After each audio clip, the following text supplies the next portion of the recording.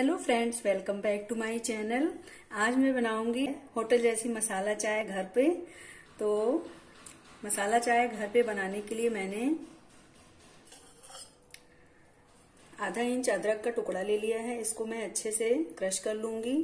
और आधा इंच दालचीनी है, दो छोटी हरी इलायची है, और आधा कप पानी। ये मैं सिर्फ़ एक कप चाय बना रही हूँ।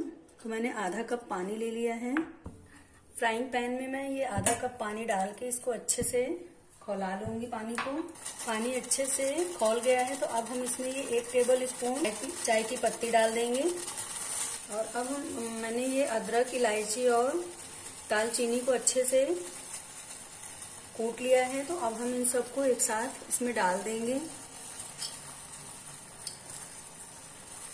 और गैस को मीडियम फ्लेम पे करके दो से तीन मिनट इसको पकने देंगे। दो से ढाई मिनट हो गए हैं।